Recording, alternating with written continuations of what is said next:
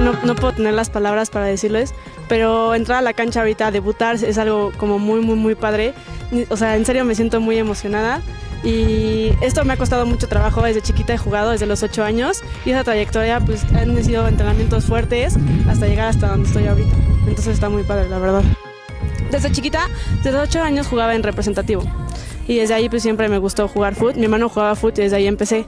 Eh, aquí a visorías, entré a visorías en pues varios, varios, fueron varios meses y pues fueron muy, muy, muy, muy, muy difícil, pero pues ahorita ya estamos aquí y está muy padre y hay que disfrutarlo y dar todo en la cancha. Pues sí, nos dijo que confiáramos en nosotros, que nos divirtiéramos, este, que pues, o sea, lucháramos, que siempre estuviéramos juntas y que no importa si alguien cometió un error, que pues nos apoyáramos en todo momento, que diéramos todo de nosotros y ya.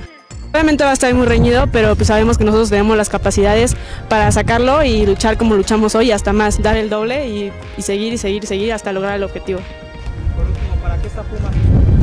Para llegar a la final, obviamente. Si no llegan, ¿sería un fracaso? No, claro que no, vamos a seguir trabajando para lograr, para lograr nuestros objetivos y así poco a poco para pues, ser grandes. Nada.